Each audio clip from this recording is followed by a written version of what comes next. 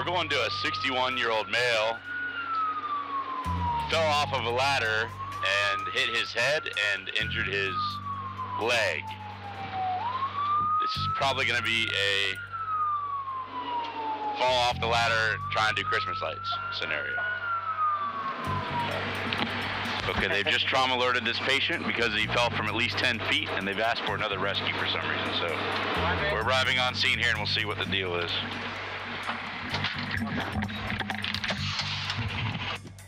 Hey, buddy. Hey. Okay, come on.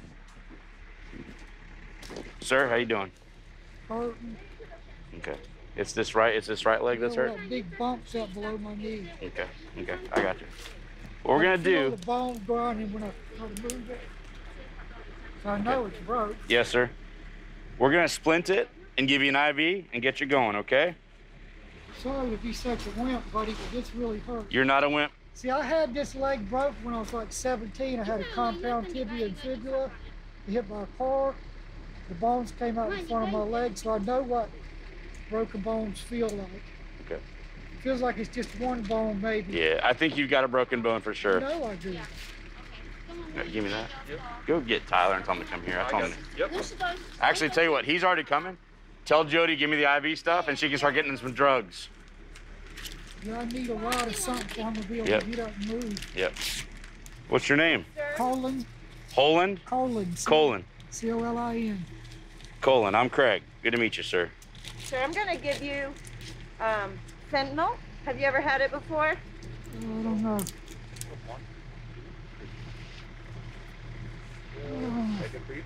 What were you doing, Colin? Coming off that roof on a ladder. Yep. Were you decorating?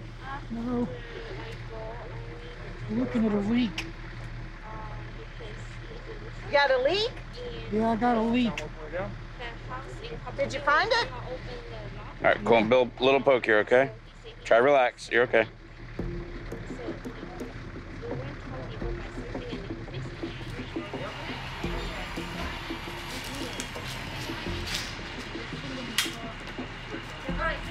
Yes, ma'am. We'll take good care of him. Uh, he is a trauma alert. He fell from about 10 feet. Uh, he's conscious and alert. He's got an obvious fracture to his leg. And of course, there's always a concern that he hurt his back or neck or head or something. So he is getting trauma alerted. And uh, he's feeling a lot better now that we got him some pain medicine on board.